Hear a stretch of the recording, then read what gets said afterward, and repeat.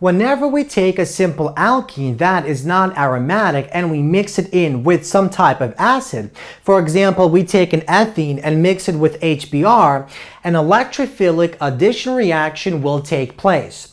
Basically, the pi bond of this molecule grabs this H atom displacing the bromide, and this first step is the protonation step. In the second step, the bromide basically attacks this carbon that has a positive charge forming the addition product.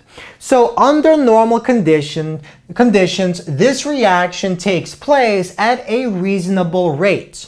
Now, if we instead replace this simple non-aromatic alkene with an aromatic molecule such as benzene, no reaction is observed. No electrophilic addition reaction with benzene actually takes place. The question is why? Well, to answer this question, let's take a look at the hypothetical reaction, electrophilic addition reaction with benzene and HBr. So let's imagine that this reaction does in fact take place. Let's look at the reaction mechanism and compare the products to our reactants. So the reactants react, one of the pi bonds of the benzene grabs the H, displacing the bromide, forming the bromide, and this carbocation. So notice the H ends up on this carbon and the positive charge falls onto this second carbon.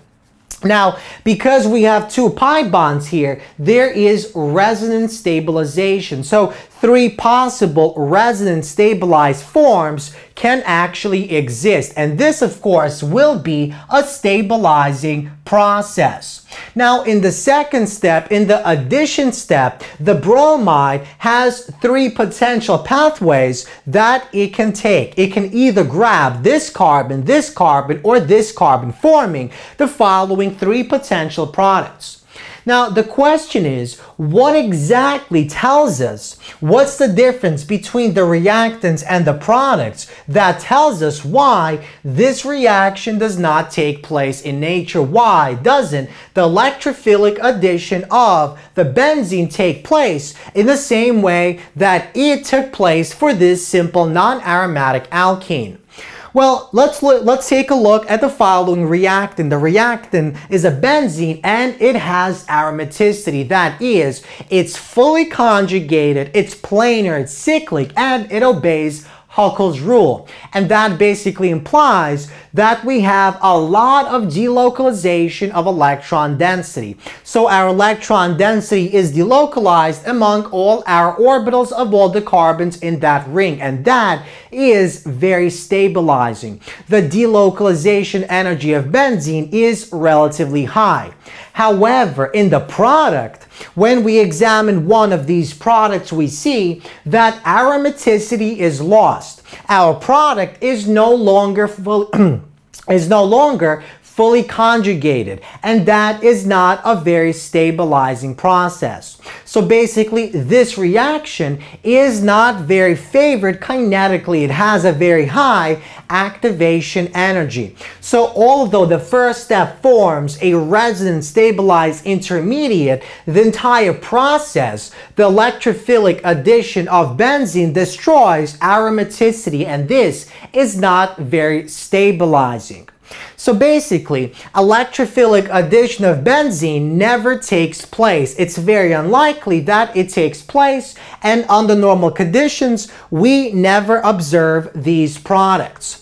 However, if we add a strong acid and label that strong acid with some type of label radioactive atom, for example, we replace our H atom with deuterium, we form a substituted product. So basically, if we take our benzene that has six H's and we reacted with this labeled strong acid and we wait a very long time, we produce the following benzene molecule that is substituted, that is, all the H atoms have been replaced, have been substituted with deuterium. And the question is, why and how does this deuterium substitution of benzene actually take place?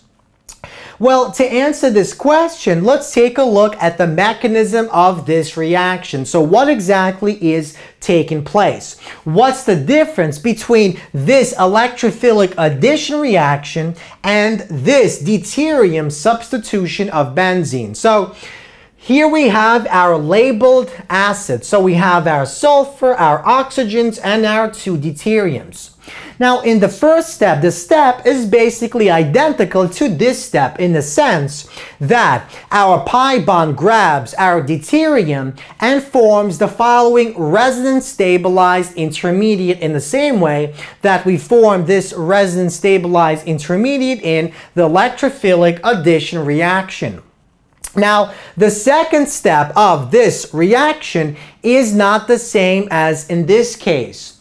So in this case, the bromide added itself to form the product that did not have aromaticity. So aromaticity was lost in the electrophilic addition of benzene. But in this deuterium substitution, what happens is we have this resonance stabilized molecule. And in the second step, this same molecule in which we now have one less deuterium uses its lone pair of electrons to take away our H atom. So basically this H atom that is found on this carbon that has our deuterium is taken away, but this two, these two electrons in a sigma bond are left over and these two electrons form a pi bond between these two carbons. And the most important point, the key point in this reaction that basically explains why this substitution reaction actually takes place is that aromaticity is reformed. So even though this reaction takes place and aromaticity is momentarily lost in this intermediate, that aromaticity is regained in our product that now has a deuterium atom instead of our H atom. And if these two steps take six times, so if they basically take place six more times, all these H atoms can be replaced in the following manner with deuterium.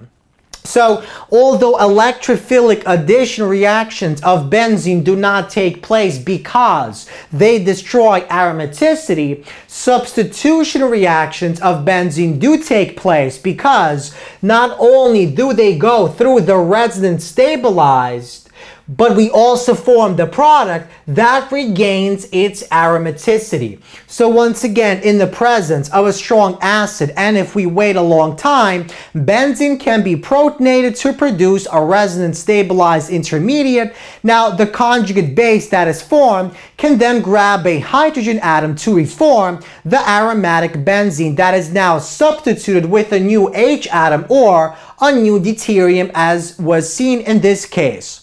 So the key point, the important point that explains why this does not take place and this does take place is the fact that in this case, aromaticity is lost in the product, but in this case, aromaticity is regained.